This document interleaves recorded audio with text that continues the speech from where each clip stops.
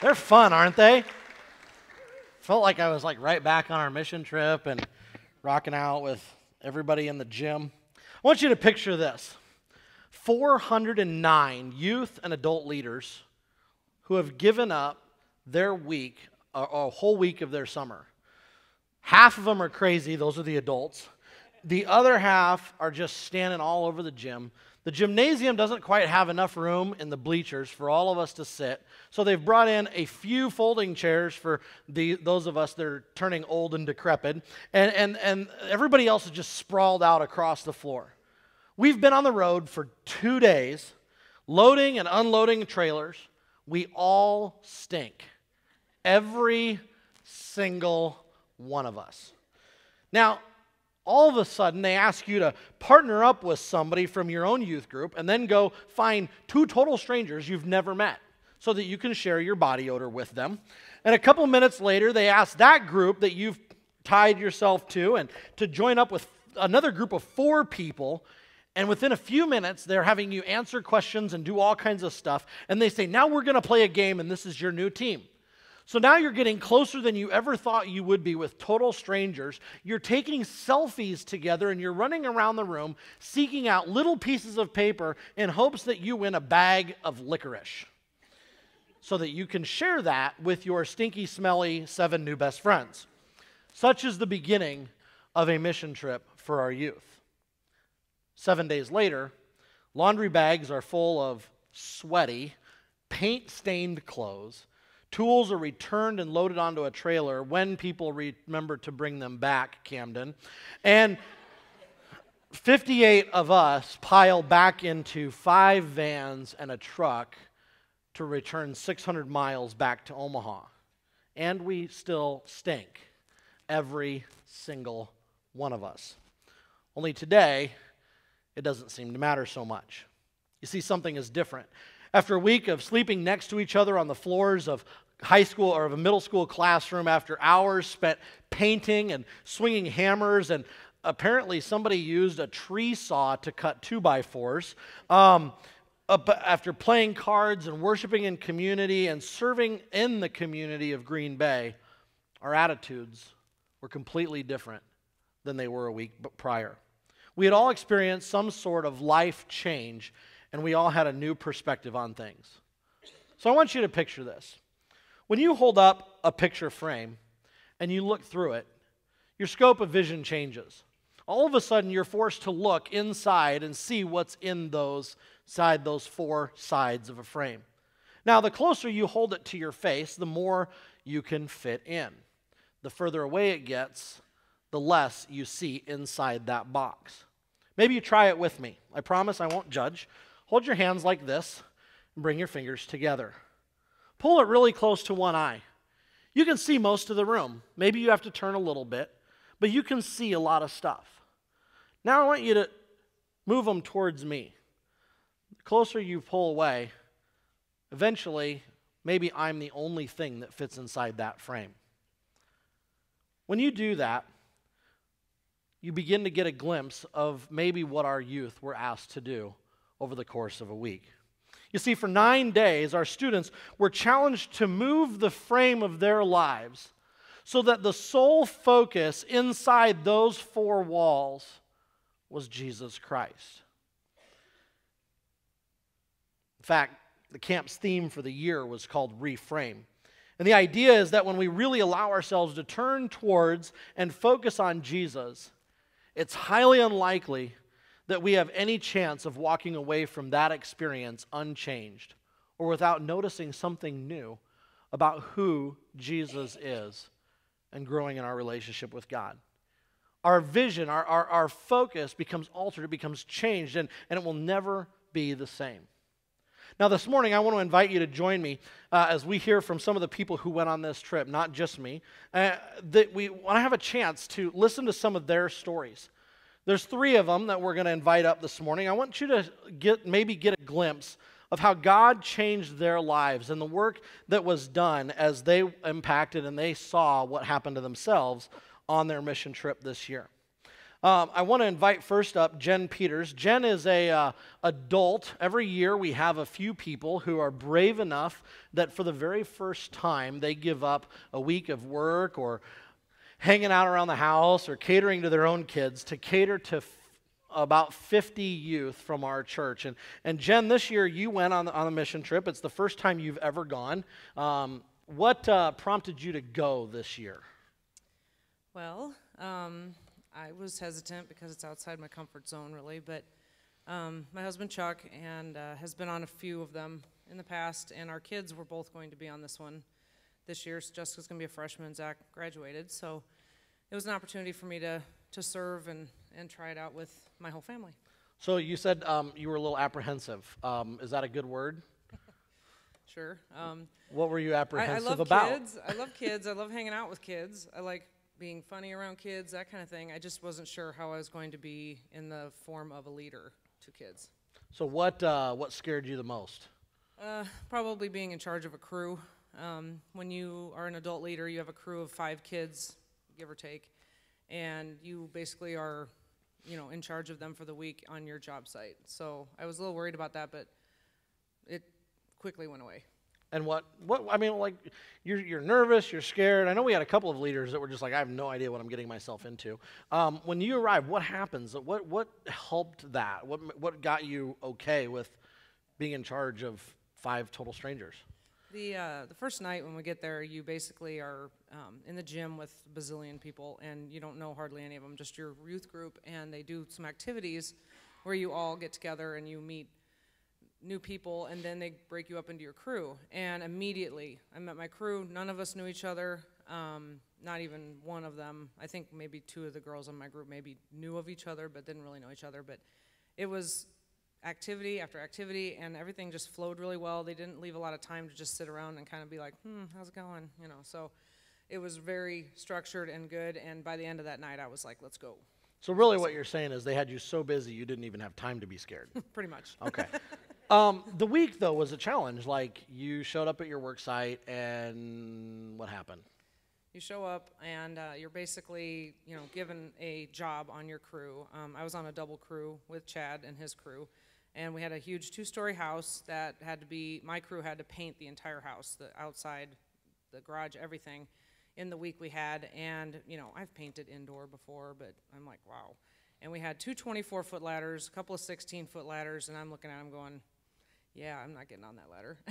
and uh, so I put my kids in my little circle and I said, Who likes to get on ladders? And I had two kids that said, Sure, I will. And so that's who did that stuff for a while. And throughout the week, I the second day I had to do a lot of praying because I knew I was going to have to get on a ladder at some point up high.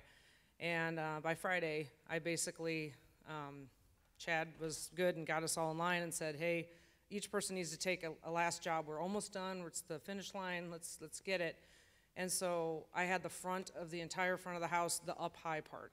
And I'm looking at it going, oh, okay. So I got on the ladder, and it took me about 20 minutes to go up on the first try. And you have your paint bucket and your brushes and all that stuff. And I got up there, and I just, I was like this for, you know, trying to get, like, oh, that's good. Okay, move the ladder. And I'm like, this is too much. One, one arm wrapped around the ladder. yeah, so I just I got most of that, and then I realized this is okay because my resident came out and stood on the deck that they they had built new for her. It was all caved in. They built a whole new deck for her, and she was the most sweetest, grateful lady I've ever met. She uh, lost her husband. She was like 40 years old. She's now 70, and she's been alone all that time, raising five girls. And she had like 18 grandkids, and a few of them had come to help. And she had two, you know, replaced hips, a bad knee. She had broken her femur. Mean, she could hardly walk, and she came out with a smile on her face every day. And she stood there and talked to me while I was on the ladder, and I didn't even didn't even bother me. Yeah, probably, I mean, even relaxed you a little bit, kept Yeah. you focused on something else, right? So you, um, one of the things you talked about, and I remember you saying this during the week, is that you were just blown away by what the kids were doing and how they were acting. What, what was it like? You, you're a parent, you have your own kids, you used to kids being in your house all the time, but what was it about being on a mission trip with um, our high school kids and, and our church that you saw happen in them that kind of you said was that thing that kind of blew you away?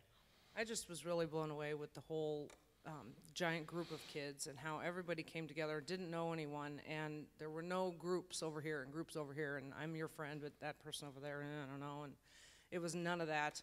And everybody was just so focused on what they needed to focus on because of the structure, and it just allowed everyone to just open up and be with God that whole week. And that's what I really was impressed by. Our own kids in our youth group, and then the ones on my crew.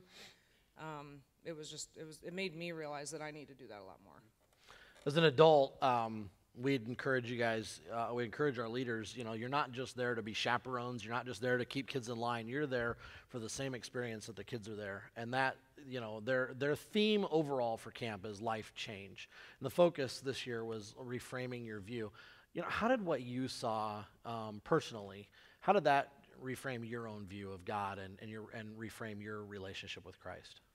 I think just being able to just stop and listen to yourself throughout the week and having, you know, the time to just be with God and there's no phones, there's no distractions, there's, you know, a focus the whole week, you know, it was it was great for me to be able to just sit back and say, you know, I need to do this a lot more often and just sit and take time and know that he's there for me all the time. Cool. Thanks, Jen. Yeah, thank you. We uh, have a couple other kids. Uh, I think uh, the happiest person you might meet is uh, Michaela McClure. Um, you know, if you ran into her on the mission trip, uh, she just like that, just that, that big smile and, and laugh is, was just kind of what kind of permeated through her for the whole week. But um, you know, Michaela, you've been on a few trips, and and you had a pretty good trip. And as we were talking, I thought, well, you'd be good to share. So, what is it that um, you know? You've been on two trips in the past. Where have you been before? Uh, when I was going into seventh grade, I went to St. Louis, and then when I was going to be a freshman, we went to Pennsylvania. Okay, um, so the, the, St. Louis trip was a middle school trip, and the Pennsylvania trip was one of the high school trips. What uh, what's something that you really kind of took away from those two trips? Uh, what I took away from both of those trips is that like no matter like just one person, you can just make the biggest difference in like a small community. And I didn't realize that like going into these mission trips, like you really your residents' life or like you change their life and just bringing joy. You just bring tons of joy to them. So this year, actually, you didn't go last year either, um, and you weren't signed up to go this year. Like what? What was going on with that? Um, well, planning for the mission trip started happening, and payments were starting to be made, and my parents were just like, "I don't think it's gonna happen this year, Michaela. We're sorry." And I was kind of bummed out, but I was like, "It's okay. There's there will be more." And then I was actually in driver's ed, and Chad called me, and I didn't answer the call. But um, which is um, good. but um, and then I looked. I saw I had a text message from him when we were on break, and he's like, "Do you want to go on the mission trip?" And I think I texted him back. I was like, "Chad, I don't have eight hundred dollars. I can just pull out of my pocket. Like, what are you talking about?" And then I got in the car when my mom uh, my mom picked me up, and my mom's like, "Did you did you get Chad's call? Did you hear? Did you hear?" And I was like, "Yeah, mom, I can't go. Like we don't ha- like I can't do that." And uh, she's like, "No, you you just have to show up with your bags. Like you don't even need like we don't have to pay. Like just show up with your bags and you're going." And like we both started crying, and my mom was like, "It's like we won the lottery," and we were just bawling, and we were just like, "Wow, this is amazing." So, what was the the best part of the trip for you this year? Uh, the best part by far has to be just the people on it. Like our youth group is just phenomenal, and all the people in it are just so amazing. And then the people in your crew are just like, I'm still in contact with one of the girls that, and she lives in Maryland, and I'm still in contact with her, and she's telling me like all about all her life, and it's just amazing. Like we're all there, all however many people in that one gym, we're all there to like worship and just grow in our faith, and we all end up becoming like wonderful friends. So, are you glad you got to go? I am extraordinarily glad I got to go. I ask you kind of the same question that um, I asked Jen. You know, the theme for this year was reframe. You know, how did the mission trip help reframe your view of Jesus? How did it encourage you in your faith this year? Um, the mission trip really showed me that even though, like, we can't go on all the mission trips. Or sometimes going to church can be really complicated. It showed me that jesus is always like standing by us and he's always like being our little cheerleader and just cheering us on and even when it's complicated during the school year. So it showed me that like growing my faith is possible even when attending church can be hard. And did you feel like you've got a kind of a renewed energy or renewed focus for, for being a part of that? Um, yeah, I definitely want to this year stay with this church and just keep growing in my faith and just keep learning and just growing and being a better person. Well, you know, about halfway through the week, I, I was talking. I said, you know, God, Michaela's like always happy. What do we do to bring her down? And and and the and like, I think Jen Jen was in her room, and a couple of other leaders like, I, I don't think it's possible. This girl just like has a smile like pasted on her face, and and, and, we're really glad you got to go this year. I heard so many other youth that were, were so glad that you were here and, and, and just being excited about you being a present. Um, they just all said you brought a joy and, and a uh, energy to the trip that, uh, that really helped them get through the week as well. So thanks, Michaela, for Thank sharing you. with us this morning.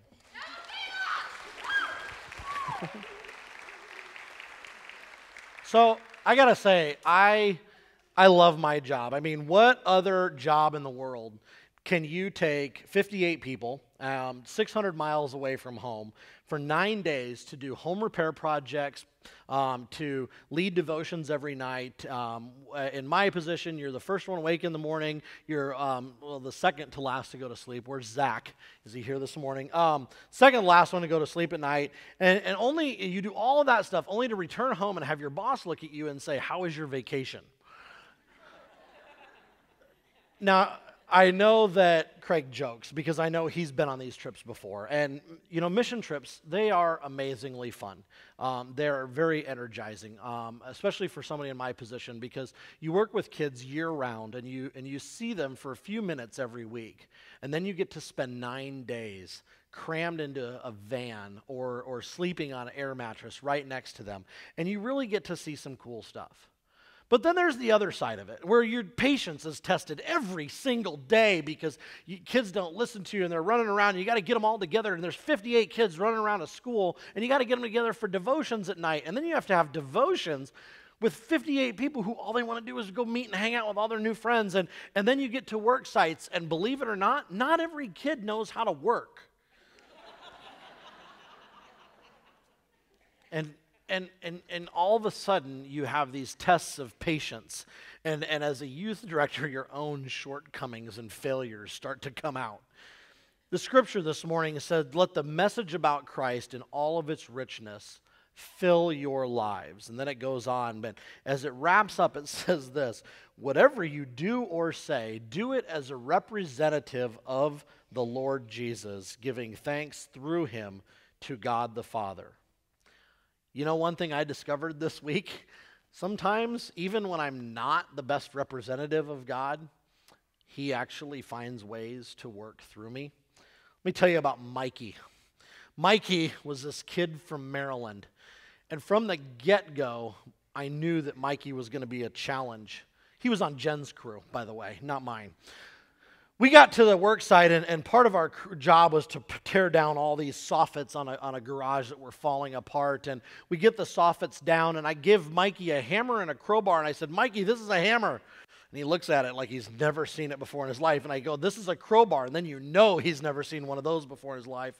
And I said, You see all these little nails and you see these little V's? I want you to line those up, and I want you to take out all of the nails along this soffit because tomorrow we got to put up new soffits. He's like, all right, I got it. So I go and I start helping somebody else with something else and come back a little while later and Mikey's off to doing something else. Usually it was, I think it was about 10 a.m. and he's asking when's lunch.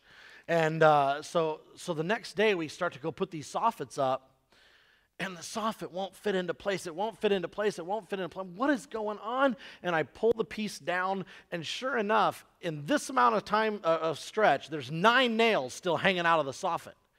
And I'm like, Mikey! He comes running around. I go, What? And he goes, You had one job yesterday, just one. And that became our mantra throughout the week. Whenever Mikey was given a job, he usually didn't finish it very well. And every time we found that he wasn't finished with his job, Mikey, you had one job. Or Mikey, do your job. Or Mikey, you know what you're supposed to be doing? Yeah, why aren't you doing it? You know, and, and I got to be honest, like I, the kid tested my patience and he, and, and, I'm thinking, this kid's got to hate me. There's no way this kid likes me at all. Well, we get to the end of the week. and we're going around in our crews and everybody's supposed to be sharing something that they appreciated that week about somebody else in the crew and of course i'm the slave driver in our group i'm the one that's like hey you know let's keep working we're having fun that's great let's keep having fun but let's let's keep working let's get the job done and mikey looks up after everybody else has said something nice about everybody else and i'm still sitting there waiting mikey says chad you're a great guy you've got a, an amazing work ethic and you know how to have fun. And I'm like, okay, I can go with that. I like to have fun. And then he says this You made me want to become a youth pastor. How do I do that? I'm like, and I go, I wasn't very nice to you all week long. And he goes, Sure, you were. He says, You pushed me and you encouraged me and, and you showed me that I could do something and you helped us all to get the project done. And I just really wasn't quite sure what to say. I have the care card that he wrote me that says pretty much the exact same thing um, stuck on my wall right now in my cubicle. You see, Mikey helped me reframe my own thinking. I walked away from that moment with him with a new attitude about how I might approach my uh, about my own approach to ministry and I figured if Mikey walked away from his encounter with me having caught a glimpse of what it meant to follow Christ then I wondered how much more impact I might be able to have if I work at it even more intentionally.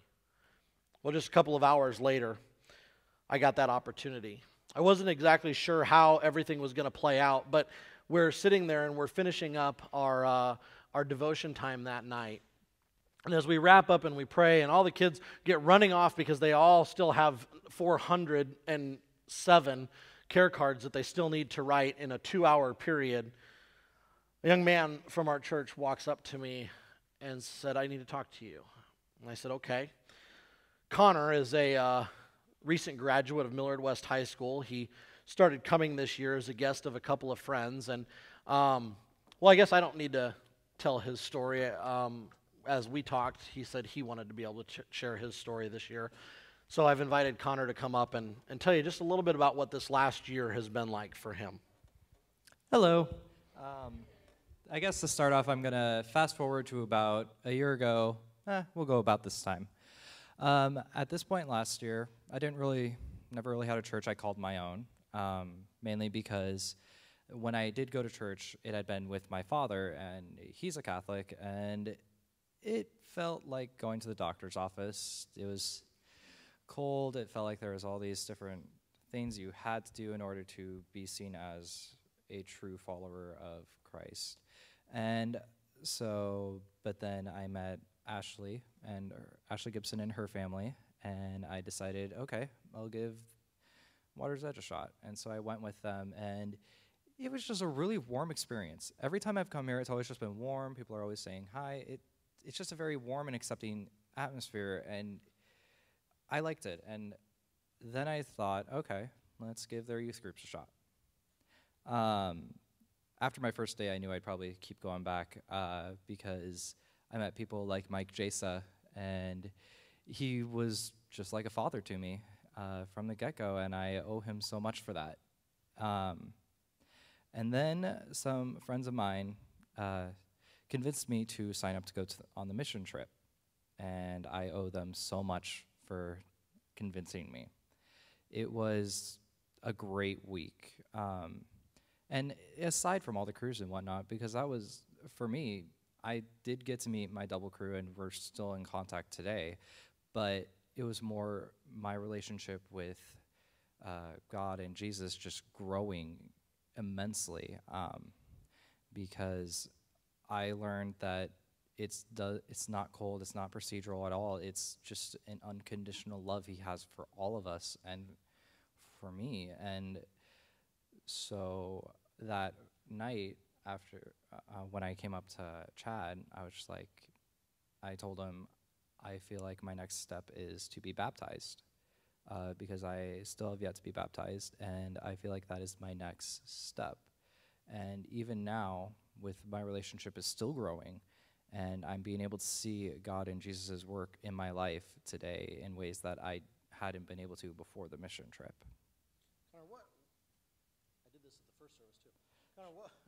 what, what was it about the trip, like, or about just people that you encountered that helped you to see um, Christ during the week. Is there anything that really stuck out to you that was kind of a moment for you?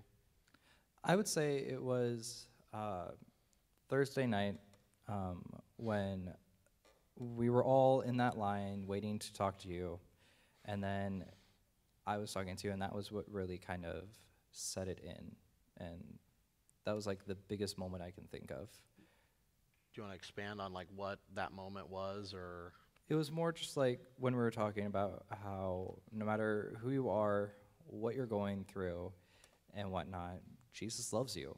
I mean, He made you. It. How can He not love you?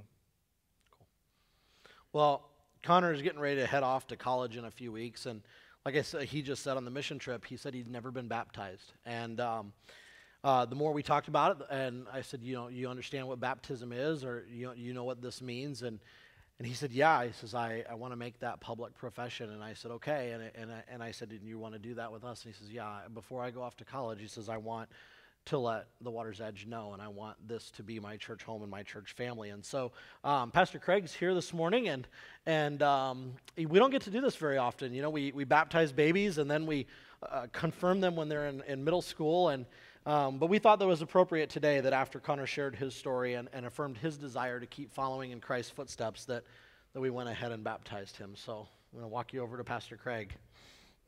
All right, Ashley, can you come up and stand beside Connor? And Mike, is Mike Jasa here? I saw you at the early service. Mike, if you come up as well. Uh, these are your people, these are your tribe. Ashley is the one who invited you here. Uh, I know that you said that Mike has been like a father figure, and Chad is going to be up here as well. And uh, one of the things about the Christian life is we don't do this alone. We do this in community with uh, other people. And I think this mission trip is one of the best examples that we uh, uh, can experience community in the life of the church. But uh, Connor, um, we've talked a little bit about baptism. This does not mean you're perfect. It means you're growing. Um, it doesn't mean that uh, you got everything figured out. It means uh, you trust in the one who does. Baptism is about uh, God's covenant. Uh, God keeps saying yes to you, and today you say yes to God, and it means that you're going to uh, do everything that you can do in this community and probably later in other communities as you uh, go off to college and you know, become an adult. But we are just uh, blessed uh, as a congregation to share this moment with you. So I have the following questions of you Do you repent of your sin and profess uh, Jesus Christ as your Lord and your Savior? Yes. Do you promise to serve Him in the church that He has opened up to all ages, nations, and races? Yes. And do you commit to uh, growing in this lifelong and eternal relationship with Him? Yes. Let us pray. Almighty God, I pray for this water and this oil that is uh, before us, and I pray for the one who is about to receive it. Lord, this is a symbol of your love, it's a symbol of uh, your covenant. God, I pray uh, for this water. It's a symbol of purity, it's a symbol of holiness, it's a symbol of life. And Lord, I thank you. Uh, uh, I thank you for people like Ashley. I thank you for people like Mike. I thank you for people like Chad for all the leaders who are represented, for all the donors who just generally give and uh, support this church, for this community, Lord, that uh, is surrounding this young man with uh, your love and your grace at this time. And Lord, I uh, pray for this baptism, and I pray this in Jesus' name. Amen. So, come, I'm going to be turning face this way, and I baptize you now in the f- name of the Father, and the Son, and the Holy Spirit. May God bless you always and in all ways. Usually I carry the little ones. I'm not going to try that with you. I, I have a bad back, so. Uh, but man, I'm just, uh, this is a blessing for me to do this. And uh, let's give him a warm round of applause.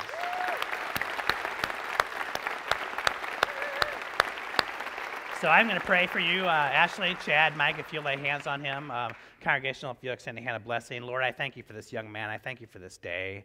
Lord, it's a day of uh, it's a day of new beginnings, and God, it's a day where we celebrate your love. It's a day where we celebrate uh, just your covenant that you make uh, with us. God, you're a covenant keeper. Um, you're with us always. And Lord, I pray for Connor. Um, Lord, he's graduated from high school. He's going off to college in a few weeks, and Lord, uh, I, I, just know that you're going to do big things in him and, and, and through him. Lord, you've uh, equipped him to be your witness uh, to the world. And Lord, I just know this young man a little bit, and that he's he's been a blessing to me. And God, I just uh, I just pray big, big, big things for him. So, God, I just uh, thank you for him, and most of all, Lord, we come and we thank you for your love, uh, for your grace, for your kindness. So, God, we uh, celebrate and we pray for all these things, and we pray your blessing upon Connor in Jesus' name. Amen. Amen. Amen. God bless you.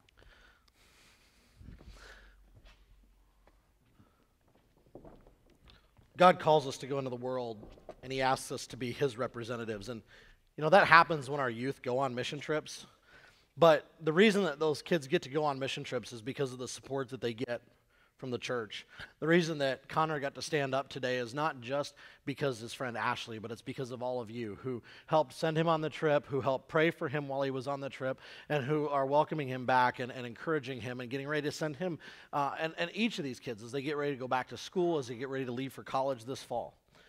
They go on mission trips because somebody invites them, because they, they're told you're going to have a great time, and something else happens along the way. Through the messages, the devotions, the work, and the relationships, Christ infiltrates their lives and their perspective changes. And by the end of the week, they have become his representatives. They have put on Christ, as today's scripture says. And when they do that, and then they go up onto a wall or onto a ladder and they paint, or they, they start building a wheelchair ramp or fixing somebody's deck or whatever it is they do, people don't look at a teenager standing there what they see before them is Christ with skin on, loving them and serving them. That change happens in their lives, and you don't always see it in dramatic fashion, but it does happen. The challenge when they come home is the same. They come back to all the, the issues and the struggles that were here before, and what they need is their church. They need each other to continue to do that. We start youth group up in a couple of weeks, and, and that's great, and we're really excited about that, and, and we're looking forward to one of our best years ever with that. But you know, one of the things that they continue to need is your love and your support. Every single person who went on the mission trip has a story to tell. Some of them are excited and ready to tell it, others need to be asked about it. And so I want to encourage you today, after the service, find somebody wearing a blue shirt and ask them to tell you their story. Ask them about the mission trip. Because the faith journey isn't just about what we did on the trip, it's about what we bring back with us and how we reframe our faith. It's about continuing to grow and continuing to experience the life change that comes as a result of it. So, would you pray with me?